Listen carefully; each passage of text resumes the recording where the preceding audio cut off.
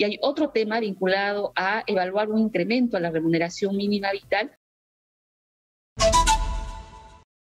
En la comunicación telefónica estamos ahora mismo o a través de la vía Zoom. También estamos con la vocera de la bancada de Juntos por el Perú, la congresista Ruth Luque. Congresista, ¿qué tal? Buenos días. Bienvenida exitosa.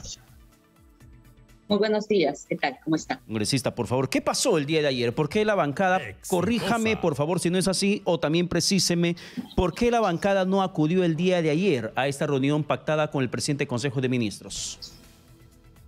Bueno, ayer nosotros eh, tomamos una decisión colectiva de no participar en esta reunión, principalmente porque un, día previo se anunció un, diálogo eh, que para nosotros eh, no tenía ninguna base de compromiso sincero democrático.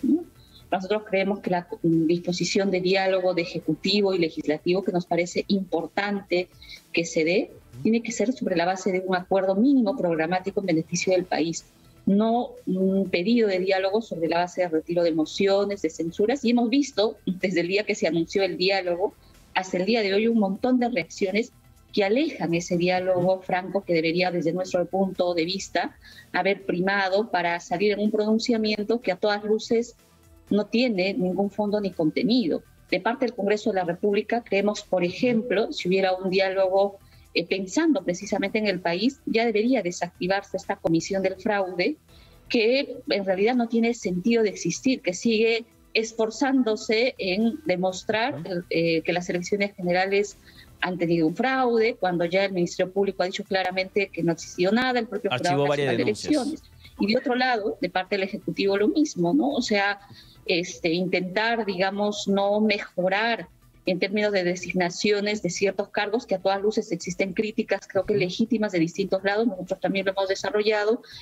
Entonces, tiene que haber un compromiso también explícito sobre cómo se mejora la gestión en términos de transparencia. pero, pero, pero congresista Luque, claramente con la, crisis, la crisis política ha salido ya de la esfera del cuestionamiento, de la crítica pública o de la exigencia de renuncia de ciertos cuadros ministeriales o de la deposición de algunas conductas parlamentarias y ha entrado al terreno de las denuncias constitucionales. Una primera denuncia constitucional que tendrá que ser expuesta y votada en la comisión permanente sobre el presidente Pedro Castillo por presunta traición a la patria.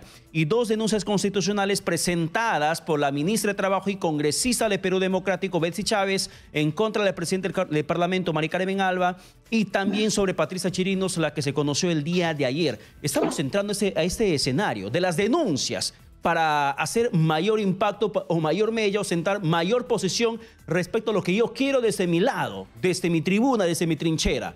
Y Betsy Chávez ha dicho que no va a retirar las denuncias constitucionales ni contra Chirinos ni contra la presidenta del Parlamento. Esto no contribuye a la gobernabilidad ni a la tregua que dijeron en ambos lados que se van a dar. Sí, bueno, más allá de las denuncias, que creo que eh, un diálogo no puede sujetarse pues por sobre la base de retiren una denuncia o retiren una moción. Yo creo que son finalmente mecanismos de control político que tienen que basarse sobre elementos objetivos. Nosotros tenemos también una crítica sobre la forma como la presidenta del Congreso ha venido conduciendo y representando al Congreso.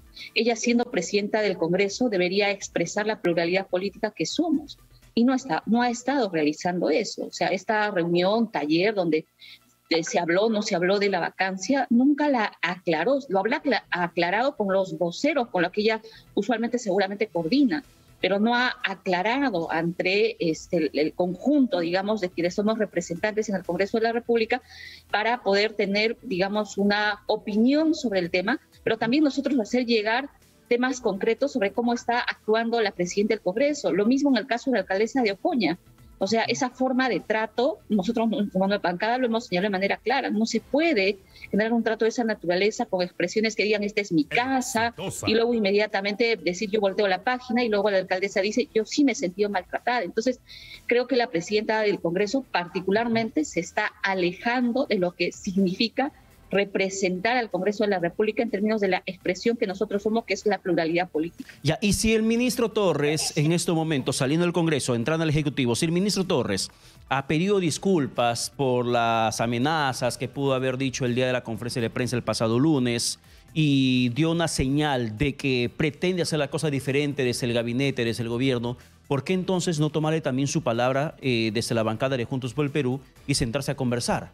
Generar una ronda de diálogo donde pueden encontrar algún punto en común y así garantizar el voto de confianza. Hemos repetido una comunicación por escrita al Premier en el cual hemos expuesto 13 puntos que nos parecen importantes escuchar el día que se realice la investidura. Entre esos puntos está, por ejemplo, me voy a atrever a mencionar algunos temas, eh, el eh, poder eh, garantizar una mejor designación sobre los distintos sectores que se están, digamos, que han ido saliendo sobre hechos de distinta naturaleza. Creo que hay un sector en particular que merece que sea explicado de manera concreta cómo es que eh, va a garantizar que haya una gestión alejada de, eh, de, actos lamentablemente irregulares que se están generando, me refiero al ministro de Transportes y Comunicaciones, desde mi opinión. Este, por ejemplo, hace poco hemos escuchado ya un conjunto de cuestionamientos sobre el ministro de Justicia con más de 60 procesos que él ha sido procurador en la región de Ancash, donde parece ser que no ha cumplido de manera adecuada los mandatos que se le han dado, en fin, creo que hay un conjunto de temas que el ministro tendrá que explicitar cómo genera confianza también con relación a ese tema. Un segundo bloque de pedidos escritos que hemos realizado ha sido cómo eh, nos garantiza que los compromisos con relación al tema de la masificación del gas, el tema de la reforma tributaria, el tema de la segunda reforma agraria que ha generado tanta expectativa en las comunidades, en el sur del país, en distintos lugares, tiene mecanismos concretos de tangibilización. Es decir, no podemos seguir sobre anuncios si estos no se implementan. Y hay otro tema vinculado a evaluar un incremento a la remuneración mínima vital y el tema del derrame que ha generado a raíz de Repsol, que desde nuestra bancada necesitamos un liderazgo claro de, eh, del Ministerio del Ambiente o de otros sectores que aseguren no solamente los trabajos de remediación, sino también una pronta reparación e indemnización de toda la población afectada que estaba más de un mes. Entonces hay, hay una cantidad de puntos que hemos expresado que nosotros quisiéramos escuchar por parte del Premier. Seguramente esto se hará de cara a la investidura que se va a dar y sobre esa base tomaremos una decisión. Nosotros no hemos negado, digamos, la posibilidad de diálogo. Lo que hemos realizado es que ayer no hemos decidido asistir en vista de que para nosotros este anuncio de diálogo que se ha generado debería ser sobre un conjunto de compromisos concretos de cara al país. Yo creo que la población está cansada de eh, los ataques permanentes. Todos estamos cansados, pero, con, pero a veces se generan sobre la base pero con, congresista Luque, congresista Luque, son 13, son 13 puntos que usted nos acaba de mencionar y que tiene que sincerar el presidente Consejo de Ministros Aníbal Torres sobre la atención o no de lo que están planteando ustedes para que le puedan dar el voto de confianza. Pero entendiendo que son varios puntos y son varias bancadas que tienen sus propias exigencias, se hace necesaria de todas formas que se adelante eh, el pleno en la cual se pueda dar el voto de confianza y que sea para ese 28 de febrero como ha invocado el presidente Pedro Castillo o se tiene que mantener la fecha del 8 de marzo? Mire, mm, para nosotros lo ideal hubiera sido que se adelantara. Creo que el 8 de marzo debió quedar como una fecha como ya se ha realizado en otros años anteriores, un pleno temático mujer que permitía abordar un conjunto de iniciativas legislativas de cara a reafirmar el compromiso político de lucha contra la violencia hacia la mujer, ¿no? Este, creo que, eh, o sea, eso siempre ha sido así. Mm, desconozco la forma como han decidido extender esto hasta el 8 de marzo. Creo que en vista de las circunstancias y, y los temas de permanente inestabilidad, lo ideal hubiera sido tener este, una investidura lo más pronto posible. Además, se ha ampliado la legislatura. De hecho, una ampliación de legislatura que durante casi dos semanas no hemos tenido ningún pleno.